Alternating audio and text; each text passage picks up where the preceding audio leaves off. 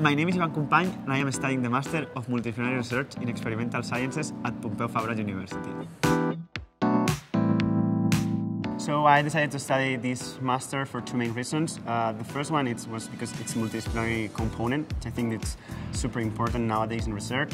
And the second one it's because uh, due to its hands-on intensive training of eight months of practical work, it's really preparing you for, for your future or your professional future.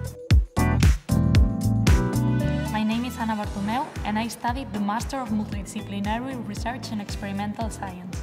Currently, I'm working at the Institute for Research in Biomedicine in Barcelona. So we were students coming from very different backgrounds, physics, chemistry, or in my case, for example, biology. And we had the opportunity to enjoy lessons in all these different fields of science.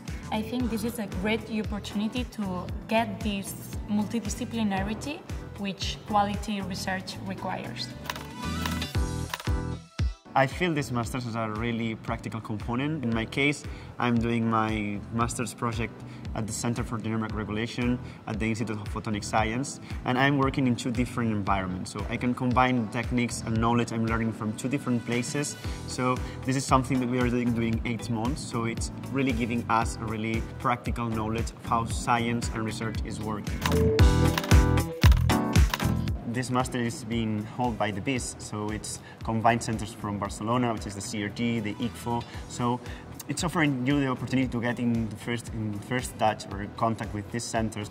You can choose between eight different top research centers according to your academic profile and to your interests. The international character of the master is reflected in the fact that uh, some students were from abroad also, almost half of the speakers that came to give us seminars were from all around the world, and also all the lessons are in English. This master is really oriented to continue on research and even get a PhD position.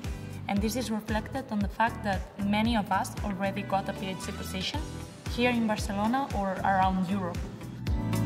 Personally, I'm really satisfied with this master because it's allowing me to experience the daily life of a researcher, how our life will be in the future, and it's really helping me to grow up as a researcher.